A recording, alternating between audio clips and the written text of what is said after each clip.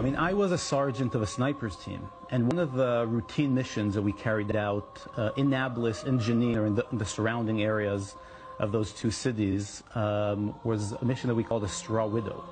Straw Widow, when you take over a Palestinian home, every house in the West Bank actually has a number. Each and every house has a number. So we would open up the maps and look at the specific house that uh, looked into the right place that we had to enter. Um, and after we would verify that the house has the best parameters, windows, and geographical area, we made sure people in the house were innocent. So you, we, we, would enter a house of an innocent Palestinian home in the middle of the night. Say that what uh, uh, motivated me eventually to break my silence was the piercing eyes of young Palestinians when I was barging into their house in the middle of the night.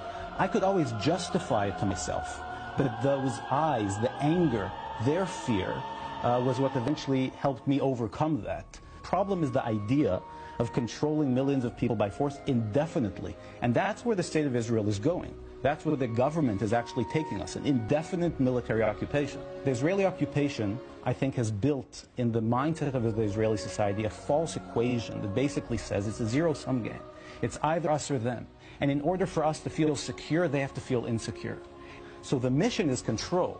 The symptom is exactly what you talked about. Now, those symptoms will not disappear until we end occupation.